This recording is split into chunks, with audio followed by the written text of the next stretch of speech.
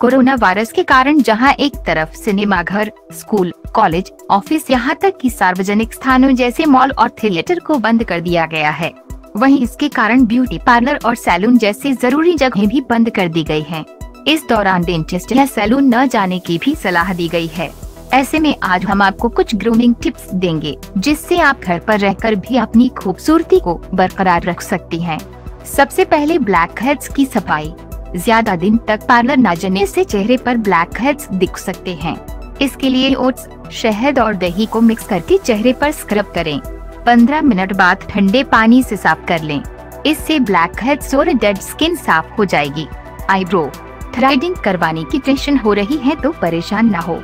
Eyebrow की trimming न करें, उन्हें ऐसे ही रहने दें। बस यूज़ कॉम्ब से सेट कर लें। आजकल जंगली आईब्रो का फ़ैशन है। घने आईब्रोज कई बार अच्छे लग नींबू मिक्स करके भी लगा सकती हैं।